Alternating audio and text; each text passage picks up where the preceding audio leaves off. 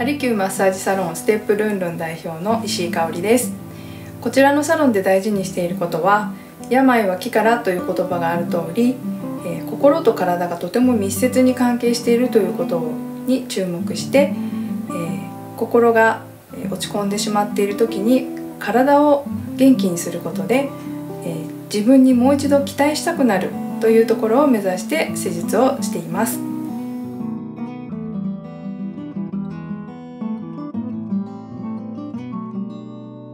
えーと、東洋学的で言うとあの腎のエネルギーが強いとされていて今この状態で立ってますということを感じておいてください、はい、自分が普段立ってるのはこんな感じ、うん、OK であ扁平足です。はいあそれを言うの忘れてました。そうです。えちっちゃい頃から？生まれた時から扁平足。生まれた時から扁平足。この頭天井からつられてるような意識でちょっと背中をぐーっと伸ばしてみてください。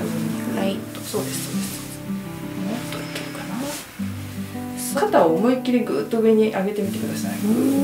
でストンと落とす。はい。この状態で今顔を上に上げてみてくださいこれさっきよりどう？全然痛くない、ええ、これの姿勢だと首に支障が出ないいい姿勢ってことな楽な姿でもこれを自分でキープしようとすると 結構大変でしょ？あのずっと一緒にいていただかないと。頭にはたくさんの小さな骨があるんですよ、うんうんうん、そのジョイントが、まあ、ずれてると、うん、それはいろいろ症状出るよねってことで瓶の蓋でさ、うん、最初ちょっと斜めになってるとさ最後までさはまんなくてキュッと止まることあるじゃない？あれと一緒で結局ちゃんとまっすぐはまらないと動きが止まるのよ。今ちょっとみぞおちが少しやキュイってなるかな？